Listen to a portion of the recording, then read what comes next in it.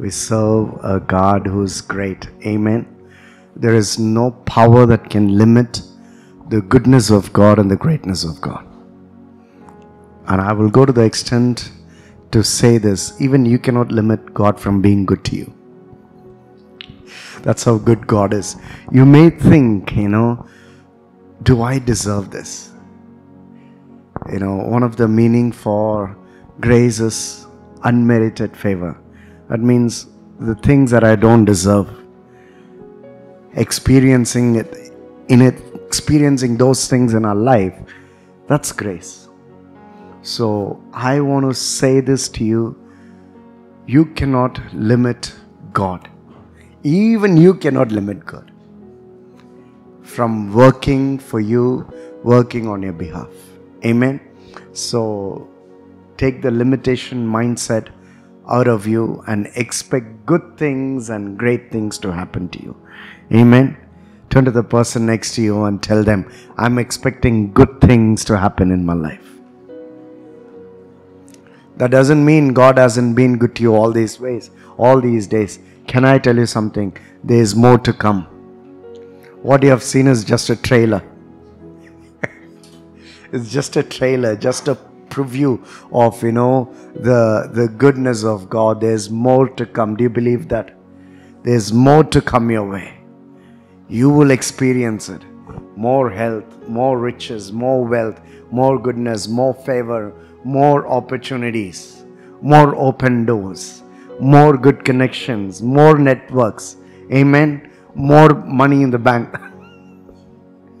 Stronger than the rest of the world.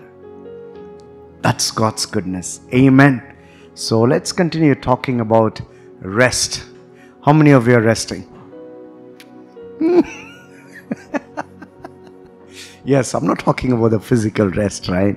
It's about being in that restful place like david says no he shall lead me by uh, the, the lord is my shepherd i shall not want he shall make me lie down in green pastures and lead me to st- still waters you know when your mind it's about it's not physically being there it's about mentally emotionally in that state right where you, you behave like you are lying down by the still waters. When storms raging, you, uh, you, you behave. Your behavior is not responding to the storms around you, but your behavior is so much corresponding to your emotional state. Like you, you behave like as if you're lying down by those green pastures, by the still waters, you know on an easy chair, stretching your leg, and having, uh, after having had a nice meal with a cool breeze, you behave like that. That's called rest. People might be wondering, looking at you, what happened to you? What's wrong with you? No, I'm resting, bro. What is this? but aren't you supposed to be doing something? I know I'm not able to do something about it. That's why I'm resting. A person of rest is like this, you know they have the boldness to let go of things that they are not able to do anything and let God. See, you're not able to do something about it, so why bother? There are certain things you can do something about it. Do it. But there are certain things you can do nothing about it. Don't do. That's rest. அவன் பார்த்துப்பான் in Tamil, you know, எல்லாம் அவன் செயல் in another word, you know, He will take care, He will work it out. Rest, right? Okay. Today, I want to talk from one of the favorite passages of rest Hebrews chapter 4. if you have your Bibles, turn with me to Hebrews chapter 4, where the author is encouraging the people to do this it sounds more like an oxymoron, you know. I will read it for you. Hebrews chapter 4, verse 11. Let us therefore make every effort to enter that rest so that no one will perish by following their example of disobedience. Another translation says like this Let us labor to enter into rest. You are in rest. Why should I labor to rest? right? Doesn't that sound very contradicting? You are calling me to rest. Why should I labor to enter into that? Okay. So, first, let me ex- give the perspective of rest. Okay. Uh, uh, just follow me. God, when He created the heavens and earth, seven, six days, right? He created the earth and its fullness and everything, every being, every living creature, the things that fly, the things that crawl, the things that run, you know, the green herbs, the trees, the ocean, the fish, everything. Bible says on the seventh day he rested. What does it mean? I'm giving a perspective for rest. Okay, what does it mean? He rested. That means there is nothing to be done anymore. No, I don't have to do anything anymore. Everything is done. So I rested. So this is Father God who rested. Now let me come to Jesus. Okay. We read in Hebrews, after having made that one sacrifice, he sat down. Do we read that in Hebrews? Have you read that? now we're wondering, where is it in Hebrews? we can read it in Hebrews 10. Okay, he's saying, after having offered that one sacrifice, Jesus sat down. That means there is nothing that needs to be done regarding your salvation. That's why, you know, you don't have to worry about how saved you are. Can I tell you something? You, you, everyone who believe in the name of Jesus, you are 100% saved. You don't have to worry about whether I'm going to hell or heaven. You are, your eternity is guaranteed. When Jesus came into the world, John 3:16 says, God so loved the world that he gave his son, whoever believes in him shall not. That means death is cancelled, perishing is cancelled. What is guaranteed? Everlasting life is. Is it, are you guaranteed of your everlasting life? So, you know, those days they used to ask this question Tonight, if you die, where will you spend your eternity? So now I'm asking you that question. Tonight, if you die, tell me where will you spend your eternity? You don't know. no, it is guaranteed if there is a heaven and if Jesus came to give you that heaven, that eternal life, that everlasting life, can I tell you something? There is nothing that needs to be done for you to go there. He's done it. That means rest. Father God rested. So, is there anything God has to work on your behalf? He's done it. Okay. Jesus rested. Now, let me come to the Holy Spirit. Okay. On the day of Pentecost, we read in the book of Acts, chapter 2, it reads like this He rested on each and every one, and they spoke as He gave them utterance. See, all this while, you know, everyone spoke as their feelings gave them utterance as the circumstances gave them utterance. In another word, you spoke because your feelings said so. You spoke because you were reacting to your circumstances. You are reacting to your situation. You are reacting to the provoking. You are reacting to the need around you. You get it? You are speaking now because the Holy Spirit has rested on you. You won't react to your situation. You will respond as the Holy Spirit gives you an utterance. That means Holy Spirit is resting in you to work. So, you don't have. Why I am saying all of this? The Father God rested, Jesus rested, and Holy Spirit rested. You know why I'm saying all of this? It is for you to live a classy, super duper life.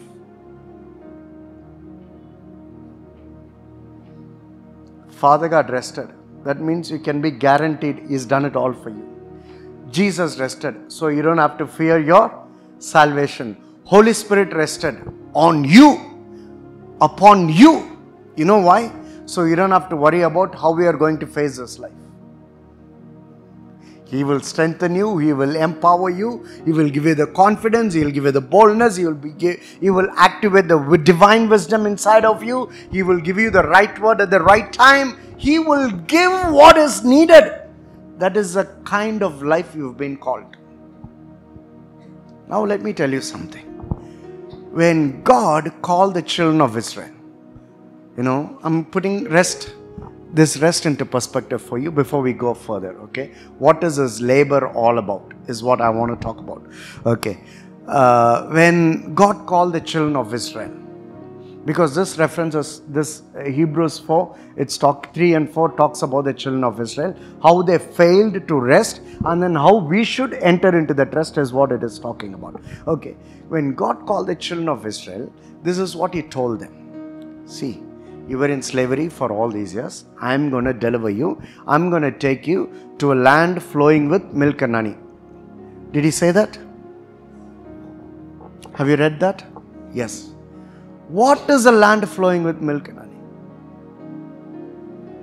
He said, You will live in towns that you didn't plan. We are uh, trying to live in a house that we didn't plan itself is a big deal. He's saying, Towns you didn't plan, cities that you didn't plan, houses that you didn't build, and and the beautiful thing you can go home and read in Hebrew. Uh, I think it's in Deuteronomy. Moses is telling the children of Israel, Deuteronomy 11, I think. Okay, it is saying houses filled with good things that you didn't plan. See, having a house itself is a big thing, but houses filled with good things. That means when you, you will step into a house, there will be fridge, refrigerator, washing machine, you know, a big cupboard for your clothes, for your wife's clothes, for your children's clothes. Big kitchen, micro oven with convection. Okay, so you can grill, I can warm up the uh, food also. Then you will have a dishwasher and you will also have dryer. So in Bangalore, you don't have to have you know the worry of okay is it going to rain? Can i go to office and not worry about you know my clothes whether it is dried or not? A good car a good vehicle your children will have good bed good cot good mattress good sheet air condition for summer heater for winter. If it gets cold this is good things. God told the children of israel this is how you will be.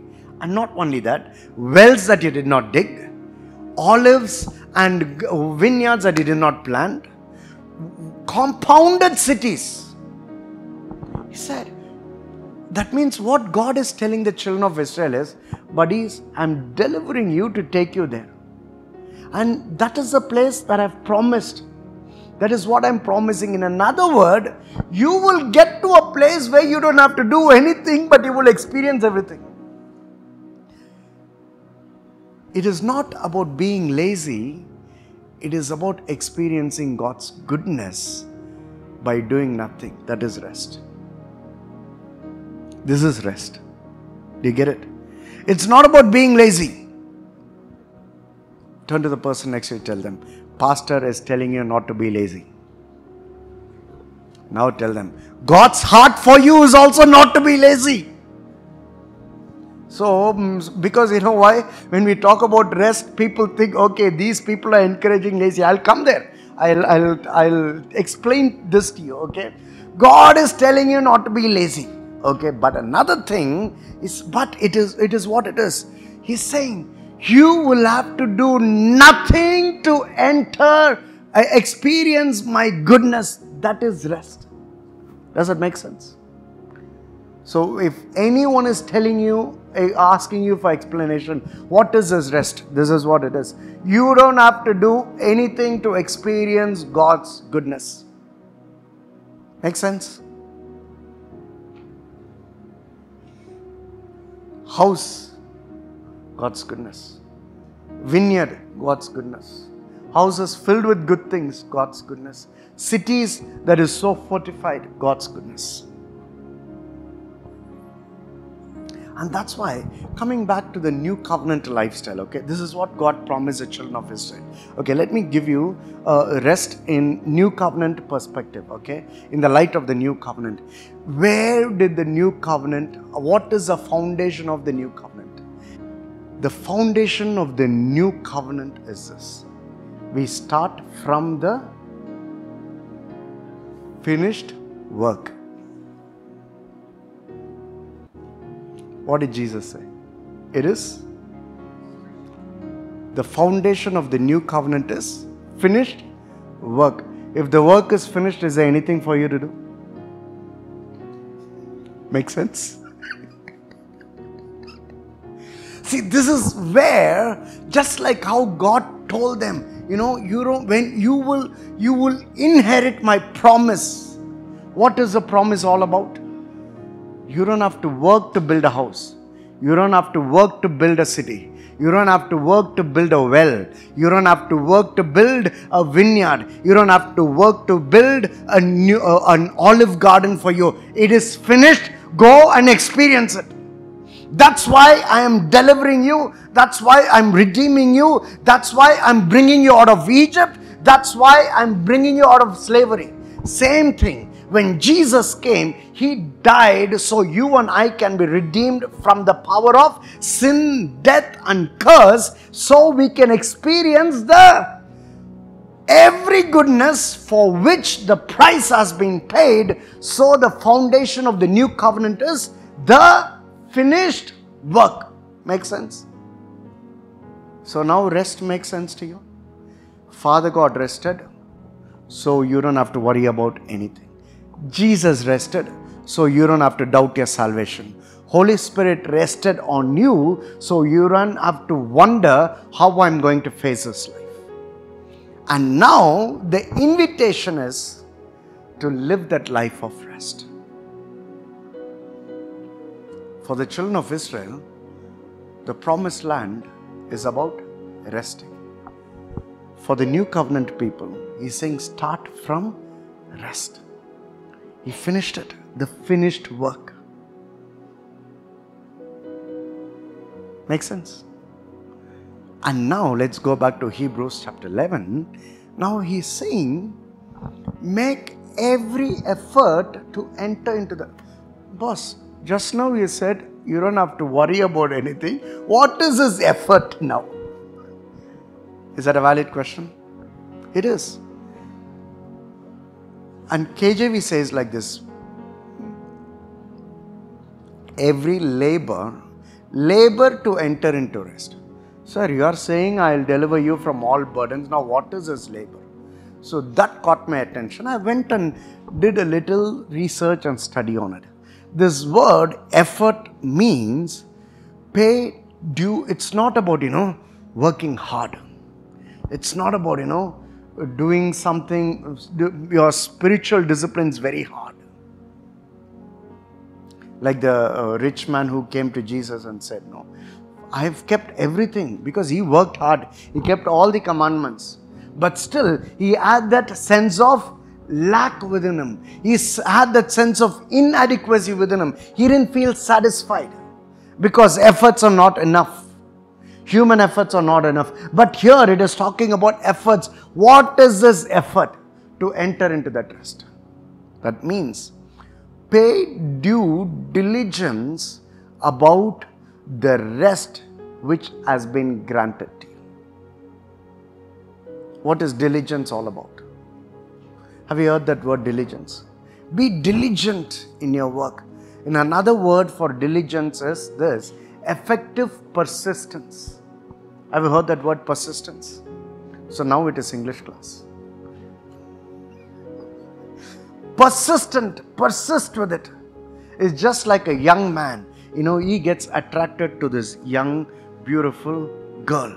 Okay, his dreams is all about that young woman.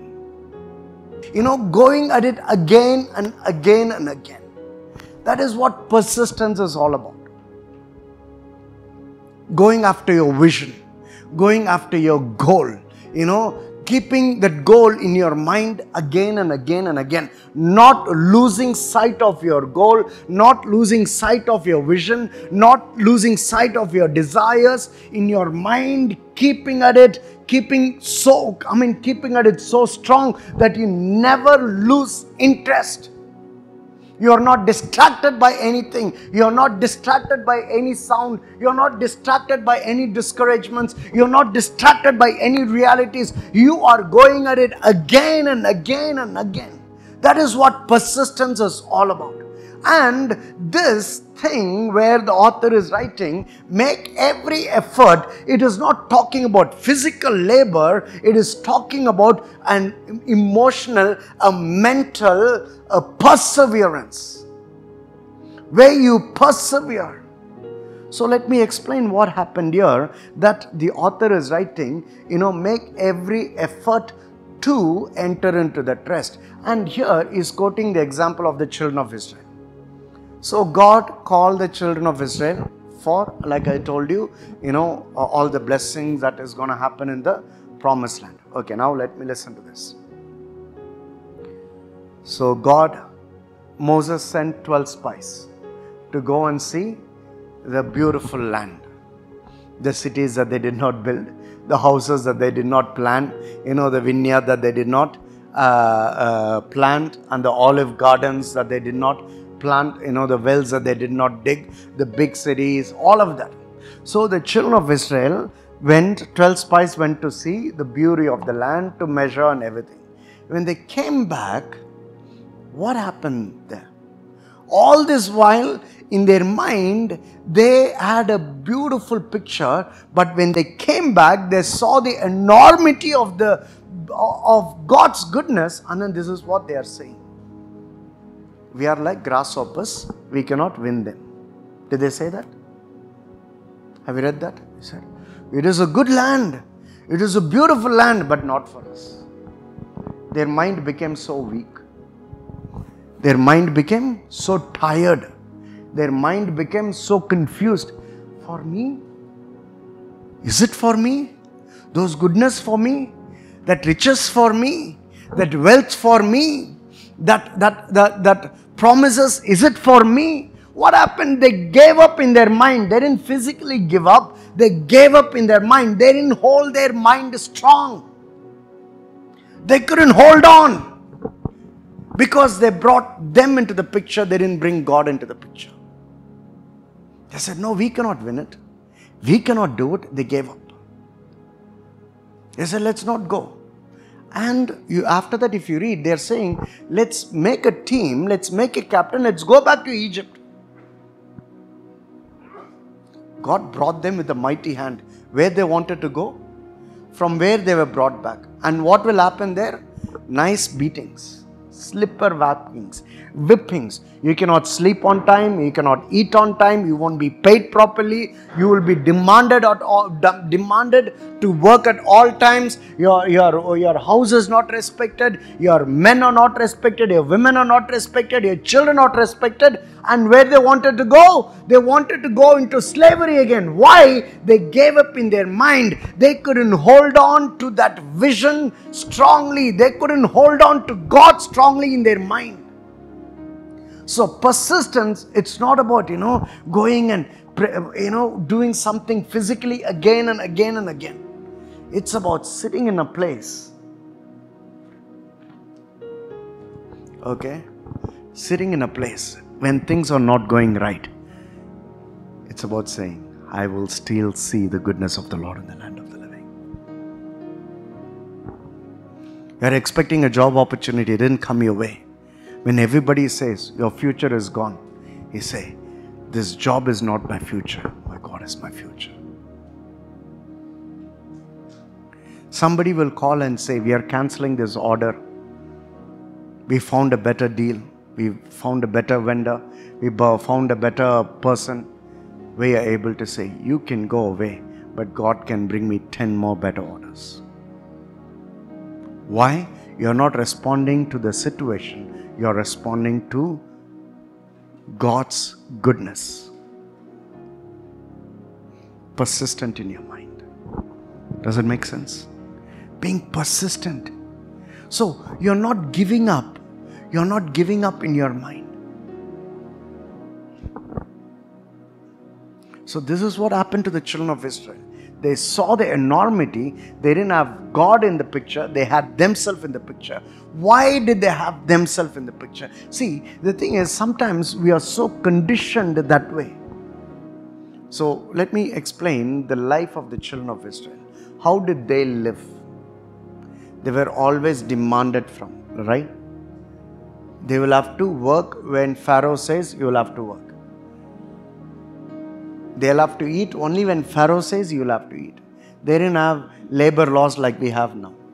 They are slaves. Slaves can't have, you know, labor union union to fight for you. They cannot have labor laws. They cannot have uh, what is this? Uh, hu- hu- human commission. Human rights. No human rights and all for them. Look at that. Once, you know, when Moses goes and tells Pharaoh, let my children go. He said, from tomorrow, don't give them raw material. They will have to give the same product what they were giving with the raw material. Isn't that gross violation? So, this is a lifestyle that the children of Israel are so used to.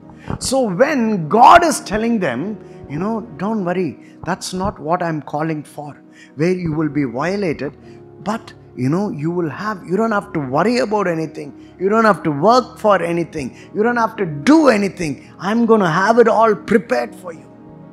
You know, in Psalm 23, we read, No, He will prepare a table for me before my enemies, and my cup runneth over. That's the life God is calling. I am preparing for you. So, what are they doing? They are so conditioned in their mind to live like this only. How?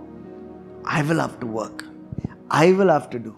If I can't do, then no one else can do for me. If I can't work for my family, who will save my family? If, if I cannot protect my family, who will protect my family? If I cannot do hard work to build my business, who will build?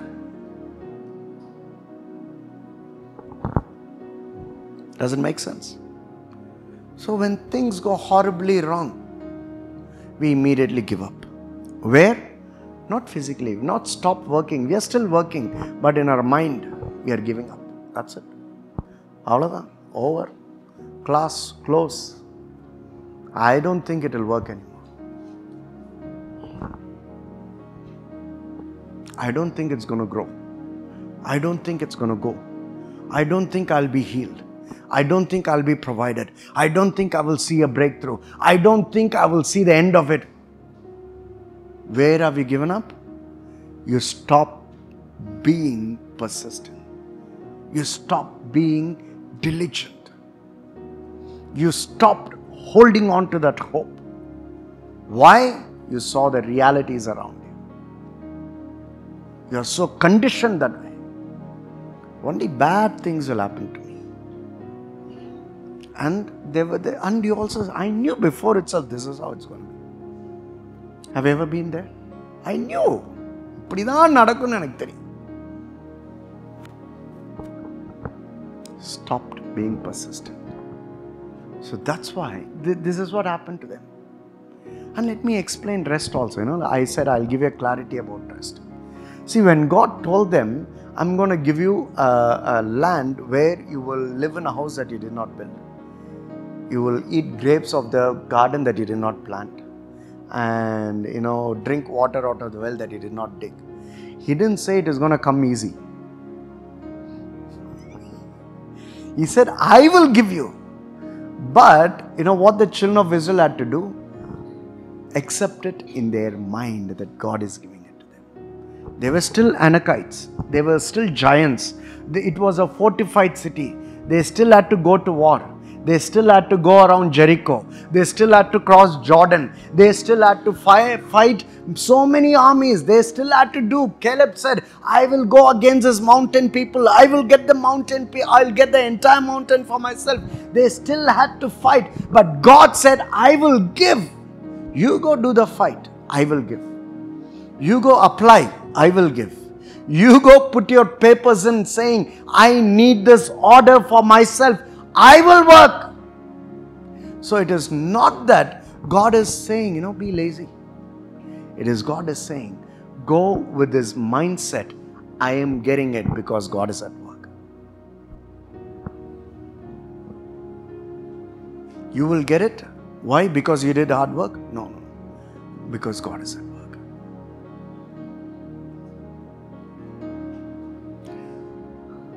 So, this effort, right? This effort is being persistent, is what this effort is all about. being persistent in the mind. They didn't let their, they allowed their mind to be distracted. They allowed their mind to be disturbed because of which they said, We can't do it. That's why God said, I will give. Did I ask you to go do it? He said, You go, I will Does it make sense? So let's read Hebrews chapter 4. Let's go there. Uh, verse 11 it says, Let us therefore make every effort to enter that rest, so that no one will perish by following their example of disobedience. Whose example of disobedience? The children of Israel. What did they disobey? Did they do anything wrong? I mean, disobey means when Vincent tells Josh, don't go there. He going and doing the same the things that his father tells him not to do, that is disobedience. Here, you know, what is this disobedience that God is talking about? God told them to believe that He is going to give them. They didn't believe. That is what He is talking as disobedience. So, believing is something in action or it is a faculty of the mind? It is a mind. So, they didn't say, I mean, what they did is, no, not for us. That is disobedience. So, when you talk about disobedience, no, it's not about you failing to pray. It's not about you failing to do something. It's not about you failing to take communion in the morning. it's not about you failing to read your Bible. It's not that. It's not the disobedience. When God tells you, you are blessed, and you are saying, More, I am the most cursed person in this world, you are disobeying God. When God has called you righteous, you get up in the morning, Lord, have mercy on me, I'm a sinner. Total disobedience. when God tells you, you know, ask and it will be given to you. You go there and say, Lord, please, Lord, தயவு செய்து ஆண்டவரே please Lord do it for me Lord please Lord I am begging of you I M I am a poor this I am a poor that hundred percent டிசோபேயிங் E said ask knock, seek. He never said beg.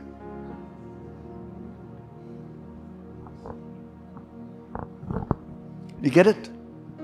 So, this disobedience is not in action. This disobedience that, that the author is writing about is them failing to believe. In another word, they saw the enormity, they didn't persist with it, saying, Yes, I am blessed. Yes, I'm righteous. Yes, I'm holy. Yes, I am perfect. Yes, I'm sanctified. Yes, I will receive it. Yes, I will experience it. Yes, I will. They, didn't do that. they say, Not for me. I'm a grasshopper. You know, sometimes we think humbling before God is as Lord, I am a simple worm, Lord. You know, when you pray all these prayers, don't think God is happy because you're humble, you're saying all these words. He's so angry with you. I have made you a royal priesthood. I have made you a chosen generation. I have made you a king and a priest. And how dare you come stand before me and say, I am a pulu andavare. I am a worm, Lord. Do you get it? These things don't humble. This is not humbling. You know what is what is humbling before God? What is obeying God? Okay, let me say this way. You know what is obeying God? Yes, I'm a righteous. Yes, I'm blessed. You may have zero money in your pocket, but you saying, I am the righteousness of God. I am blessed. You may have one severe hip pain. I am healed. I'm in good health. I'm healed by His stripe. You know what are you doing? You are persisting you are making every effort to be in that place of rest. Rest is experiencing God's goodness. Now, that obedience makes sense? So, obedience, don't think it is an action. It is about persisting in what you believe, what God says you are. It is persisting in who and who says God you are and what God says that you are. Persisting in that. Sometimes, when you do some acts of sin. Okay, let me be a bit blatant here. We do acts of sin. You can name it whatever. You know your failures, you know your weakness. I'm not going to say what your weakness and what your failure is. For some, it can be anger. For some, it can be gossip. Because uh, uh I, I, I, you know, gossiping is very nice. It feels very good, you know, talking about someone. it feels very good. Oh, you feel so satisfied. Okay. For some, for some, it is always being negative. That's also a bad action. For some, uh, can I go more? No need. Enough. Stop there. You know.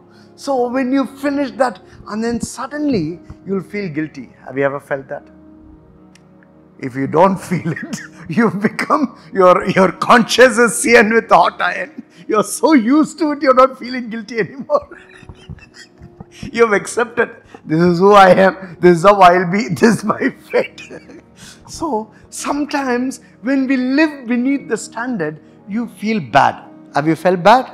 Yes, I will feel bad. Not once, many times. Many a times, even I will say, Lord, I will never do it again.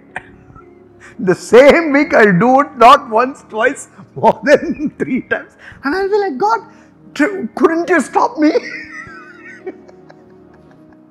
Couldn't you put a stop? Couldn't you shut my mouth? Couldn't you do something? Why? Holy Spirit, you're there to help me. Why you didn't help me? I've been there. I've done that. So when I'm talking, it is practical, right? So next morning, when I sit for worship, you know what's the first thought that comes to my mind? You know how you were last night? You know what you did yesterday? You know how we were talking? You know what were you doing? You know, that time, you know what obedience is? Standing up and saying, Lord, I come boldly to the throne room of grace. I'm the righteousness of God. I am perfected forever. I am holy. You, you have called me to be faithful. You have called me to be holy without spot and without blemish, and I'm coming boldly to experience your presence. My actions will not hinder me from approaching your throne. You know what I'm doing? It's not arrogance, it is total obedience. What I'm doing I am persisting there. Not in my action, in my faith, in what God says who I am, in who God says I am.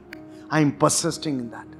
The world, my actions may scream at me, my flesh may scream at me, my emotions may scream at me, my neighbor can scream at me, my situations can scream at me. At that time, I'm standing tall and saying, Yes, I'm going to come to the throne room of grace. I am a child of God. One day, let me share this experience. Susan and I had a very bad fight.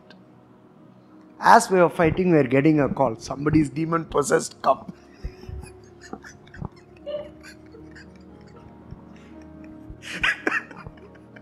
so immediately we stopped the fight. we packed the kids and then we went. now on the way. you know how we would have felt? Uh, I felt. I don't know about Susan. Susan is different. Okay, I felt like this. What if this demon exposes me to die? You just now had this fight. Now you've come to pray for me. pray for deliverance here. Get out.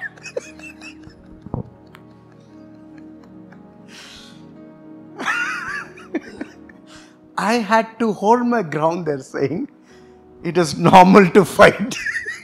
it is okay even if I fight. But I am going there as a child of God. I have power over every authority, every demon. I had to stand my ground there. Where? Persisting.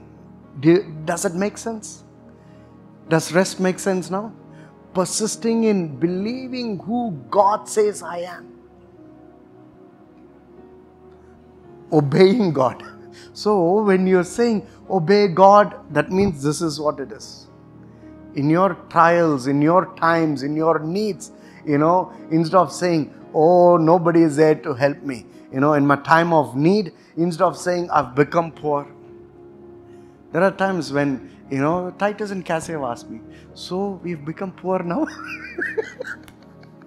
you know, children can be so blatant. They'll make us feel the reality so easy. so at the time, you know, it's, it's so real. At that time, persisting. Obedience. Now, persistence makes sense. Now, you know what it is? Making effort. So, it is not the real effort, you know, it's your mind. It's in your mind where you persist in what God has called you for. Uh, wait, let's go to the next verse. Let me finish, okay? Uh, let me explain this. Uh, verse 12 For the word of God is alive and active, sharper than any double edged sword. It penetrates even to dividing soul and spirit, joints, marrow. It judges the thoughts and attitudes of the heart. So, how many of you have read this passage of scripture before? And what have you thought? Didn't you feel that fear and dread? The Word of God. It penetrates through the marrow, through the joints. You know, especially in the olden days, you know, in my young days. கர்த்தருடைய வார்த்தையானது நரம்புகளுக்குள்ளாக எலும்புகளுக்குள்ளாக பகுத்தறியும் what will it judge what does it penetrate i mean what does it try to let me the word of god is an expression of god's heart. That is god's word. Okay? So when we talk about this in line with rest because we are talking about rest. This is talking about rest. And it says it judges the thoughts and attitudes of the it doesn't judge your action. It judges your thoughts and the attitude so now tell me isn't your thoughts and attitude very important that's why persistence is an attitude of the mind it's a personality. You know, KFC, you know, at what age did KFC become famous? 64, 65. But he kept on trying. He didn't give up. He, if you read his story, it's very, he's a challenging person only. He got divorced, he kidnapped his own child, then got arrested for that. He's a funny guy. at 65. Imagine him giving up when he was 50. You wouldn't be eating KFC now. KFC wouldn't be a brand. He said, okay, I've passed half the century, enough, you know, let me eat whatever I get. He kept going at it again and again and again. He never gave up until he became KFC, the brand, an international brand, not just in America, it's all over the world, right? Till today, nobody knows the secret ingredient. Nobody knows. That's how they have it. They have it going. Imagine KFC giving up at giving up at 50. Okay, giving up at 60, giving up at 64. Gone.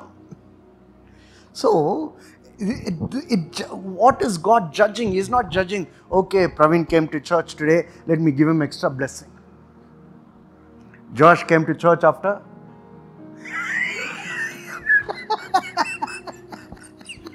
Josh came to church.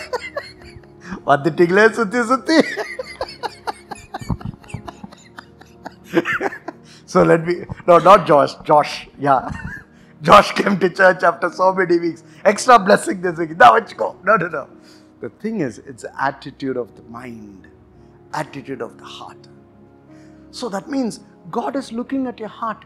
God, God looked at the heart of the children of Israel. Why are they thinking like that? I told them, I'm giving you.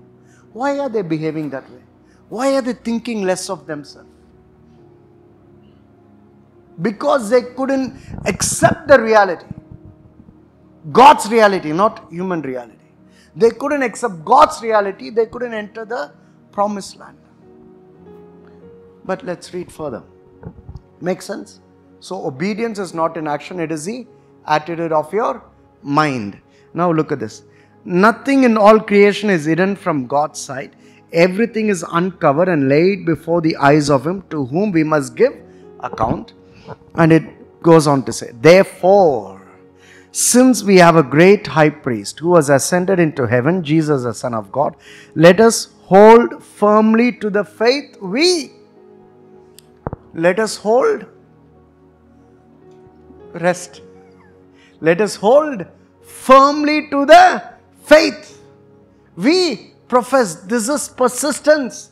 Let us hold firmly. This is the effort we put to enter into rest. Hold firmly. You know, there are times people will question you. Are you a Christian? Especially in school days, no? When we do naughty things.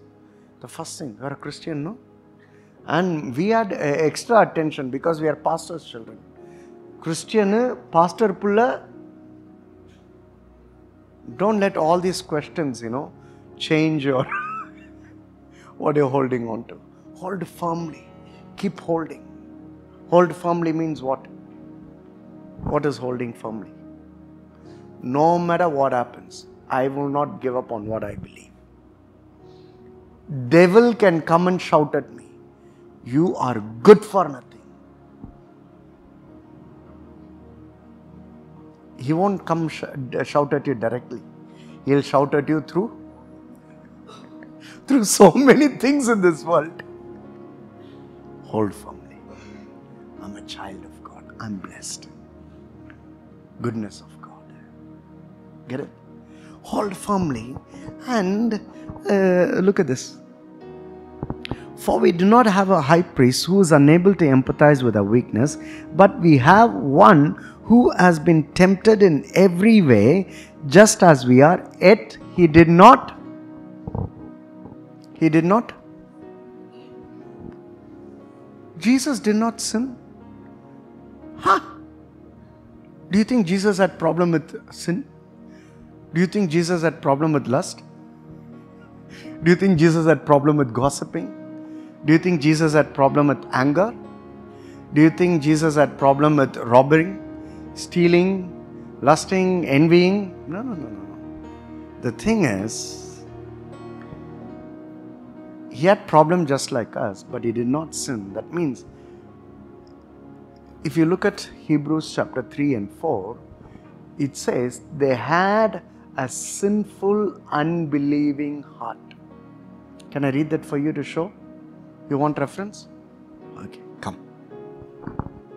Hebrews chapter 3. Verse 12. Now turn your Bible and read it because he asked for it. So turn your Bible. If you don't have Bible, uh, turn your phones. You all have uh, Bibles on your phone, so read it. 3 verse 12.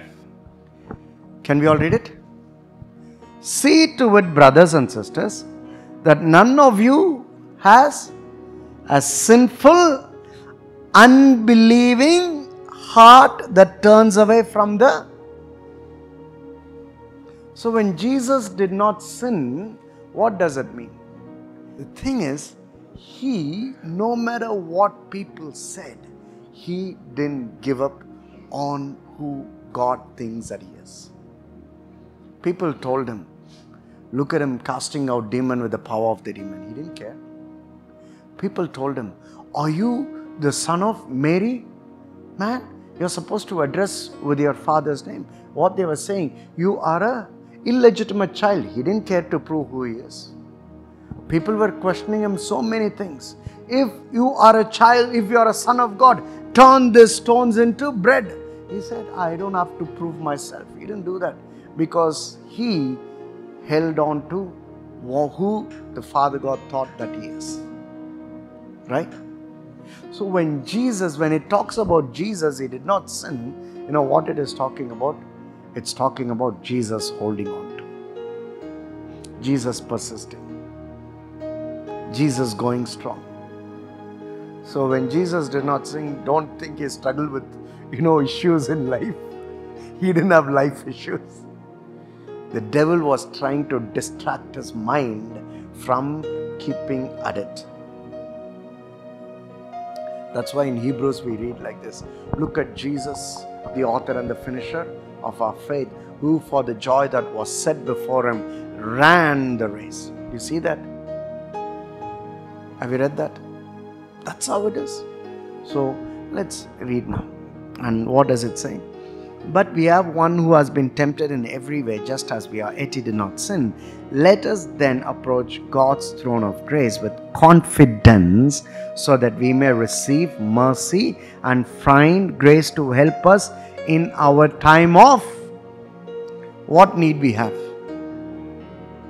This need is not pitch no, not that need. Appa, what are we saying? God help. No, no, no, not that the need that I'm talking here is the ability to persist so I can rest for God to do the best. Today, you know, what I pray that the Holy Spirit will do for you is this give you the strength to persist. How many of you believe you have a great future? How many of you believe that you will see and experience the goodness of the Lord? Yes. But you know, we cannot be at it. There, they didn't have Jesus. In the wilderness, they didn't have the high priest Jesus. They didn't have the blood of Jesus speaking for them. But today, we have Jesus as the high priest. We have the blood of Jesus. We have the Holy Spirit today. You know, when you fail, when you're not able to believe, He will help you to believe. When you're, when you're not able to hold on to, He will help you to hold on to. When you're not able to keep going, He will help you to keep going. So you will not perish. Those people perished in the wilderness for 40 years. You know why they went around for 40 years? God wiped away an entire unbelieving generation. Now, God is not interested in wiping you away. God is excited to help you so you will you you will experience the promises of God. I want you to know you all have a great future. You will see the goodness of the Lord. But you know what? Persisting. Persisting. Persisting means keeping at it. Keep going at it. Don't let anything distract you. Don't give up. Don't give up. Don't give up on those desires. Like this morning, I was telling Kati, Kati, we will get a place. We'll get a huge place. We'll have a big crowd coming. That time, you know, we won't be having small monitor. We'll have big LED walls. And that time, we will have a separate room for presentation, pro presenter we are talking about Logic Pro. We are talking about Pro Presenter. For lighting, we'll have a separate room. For sound, def, separate booth. These are my desires. I see what 20 people now. If I give up now, this is how I'm going to be. I'll tell you something. Before, before the new covenant, that's how I will be. Now, I have Jesus, a high priest. He said, He'll talk to the Father this poor boy is not able to believe. Let's help him. Then Holy Spirit encourages me. He empowers me. You know, when I'm standing here, I'm preaching this sermon because I experience that empowerment. I'm not tired. Just because I see so very little people, I'm not tired. I'm not giving up. I will see a move of God. I will see people coming in to receive to experience God in this place. The same goes for you. Just because you are where you are now, where you don't see anything happening, don't give up. Persist. That is the rest. Persist in your mind. Amen.